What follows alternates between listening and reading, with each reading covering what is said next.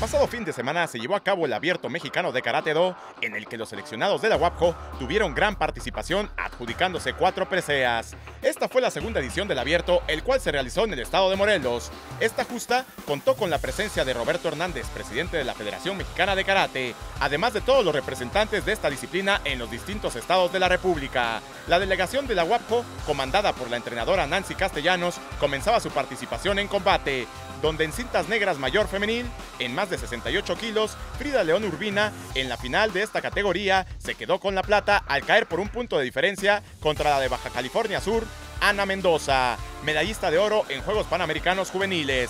Ese mismo día, David Hernández se quedó también con la presea de plata al perder la final por decisión.